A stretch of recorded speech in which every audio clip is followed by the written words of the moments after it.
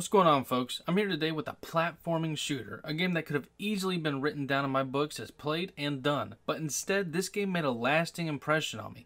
This is Huntdown, a game that brought me back to two of my favorite films, Fifth Element and The Warriors. But now it's a 16-bit shooter, and more impressingly, this is the first game from the developers at Easy Trigger AB, and for a first game, you can color me impressed. As usual, if you enjoyed this video, why not hit the subscribe button? And if you would prefer an audio-only version, the link will be below.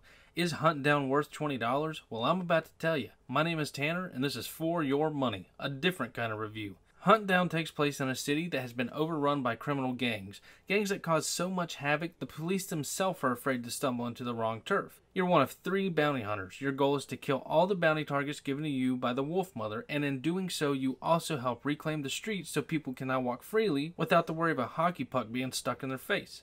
For a game that's in the realm of a metal slug, this is a nice story. Short, yes, but hey, when a quarter bought you limited lives, you really had to sell the game based on how it played, and seeing as this game is going for that arcade style, it does its job, and you know where the main focus is. Huntdown is a platforming shooter that is full of explosions and weapons. Now, I was surprised at the weapon variety in this game. I expected your simple assault, SMG, and shotgun, but they ended up giving us a variety of those three, plus tons more, such as weapons you'd find on a tank, or a grenade that causes like 8 explosions. Each of these weapons are brutal and make for a bloodbath on screen. Of course, weapons will matter depending on the situation you're in. Enemies have health bars, and some of them are going to be tougher than others, as well as some have armor meters, and then after that, you'll see their health meter, and a pistol just won't seal the deal. Luckily, enemies for the most part tend to drop their weapons, so you should be in the clear. Plus, the devs are also lenient with weapon placement. If you do die, you will spawn at the nearest checkpoint and all weapons will be lost unless you're in a boss fight. They once again gave us some leeway because these battles aren't anything to joke about. They are tough. Reason for that is one, some bosses have multiple health bars and some have you destroying the object they're driving or using and then you damage them or you fight them. And to top it off, every boss fight is distinctly different. At no point did I find myself using the same tactic for one boss on another one because there was just no way. And considering every level in this game ends with a boss fight, it's imposing to think of the brain work that had to go into each and every one of these just to make them unique. Now, with me mentioning differences, I can't leave out one key feature that took the cake for me in this game, and that's the cover mechanic. Any crate you see, you can crouch behind, and when you shoot your weapon, your character will automatically stand up and shoot over the cover and go back down. It works the same way with holes in the wall get into a hole and shoot left or right, and once you're done, your character is back to taking cover. This is like the jump button from Ion Fury. It seems like a strange mechanic to get excited over, but seeing them in a game like this, it just gets us fans excited because it's a fresh take on a classic genre of gaming. You can also slide when you're running forward. You just have to hit the analog stick diagonally. And I bring this up because if you're like me, you like to play games like this with your directional pad, but with the sliding mechanic proving highly effective and seeing as trying to go diagonal without using the analog stick is difficult, most likely you won't be using the directional pad. But you forget about it. Three levels in, you're just going with the flow of the action. As for the platforming in the game, it is silky smooth. Jumping pits and dodging fallen debris will be the least of your worries, but you do do it so often that it's a key mechanic. Above all, you can't have an arcade shooter like this without being able to play couch co-op.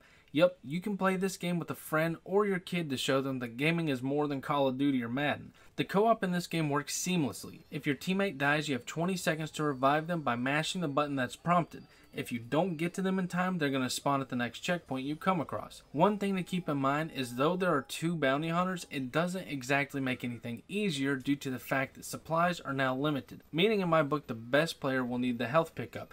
And if you're both equally as good, then may the best man get to it first. At the end of the day, Huntdown is addicting. Once I picked it up, I could not put it back down. Whether it was bashing some baddies with a wrench or blasting them to smithereens with a shotgun, I just couldn't get enough. And just like that, the devs sold me on the gameplay. So if this were an arcade machine, they would definitely profit off me because I would keep inserting them quarters until I went broke. Huntdown 16-bit action mixed with its over-the-top cheese fest dialogue mixes perfectly together to bring us the design gamers should love.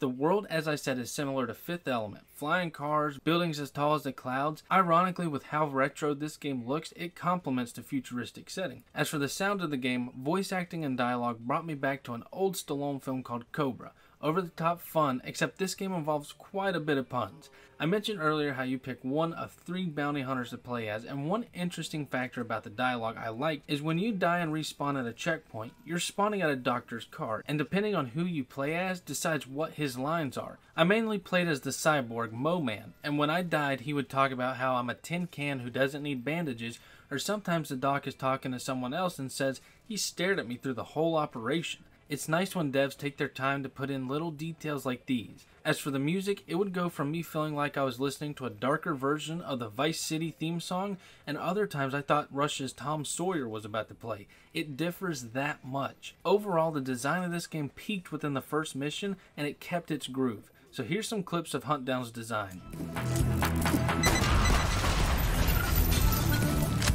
Trying to get a slice of attention. Bounty hunters in here!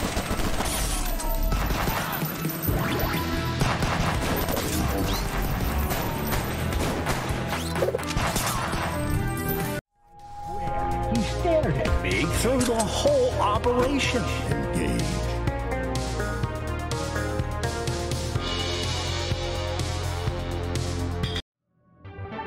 Bounty found. Just in time for trying out my new security system. Have fun!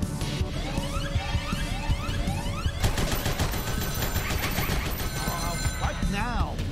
Ma, I told you, don't call me at work. It has been a long time since the company acquired your services.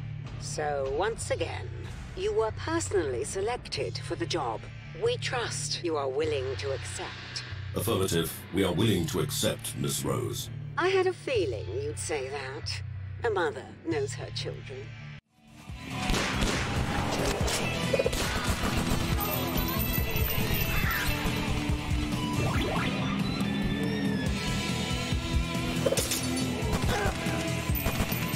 Homo sapiens learn to fly.